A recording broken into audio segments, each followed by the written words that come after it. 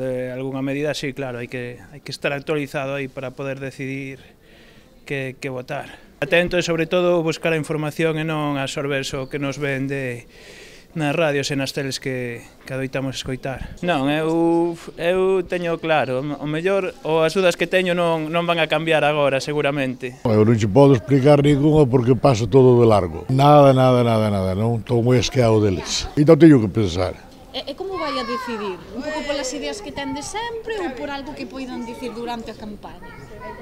Non, eu votarei polas miñas ideas que teño eu, era máis. Despois eles que se matan entre eles, ou senón que eu xogan ao chinchimone. Dos programas... Non, non, porque no, é para que total é todo mentira.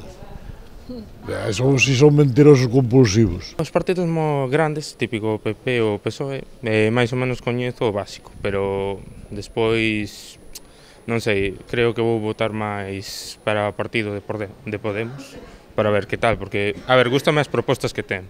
Gústame o seu ideal principal de basicamente de que queren aumentar eh, a, o traballo.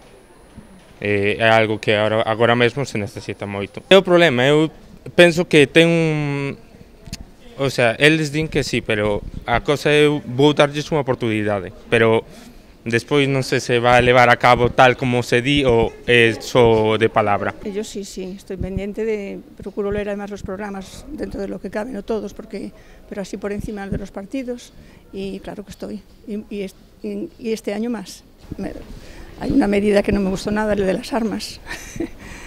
y bueno, eso es la que puedo tener así como más pero después hay medidas que, que sí, que estoy de acuerdo. Con todos los partidos tengo algo de acuerdo y con todos tengo algo en desacuerdo, así que va a ser un, un año difícil.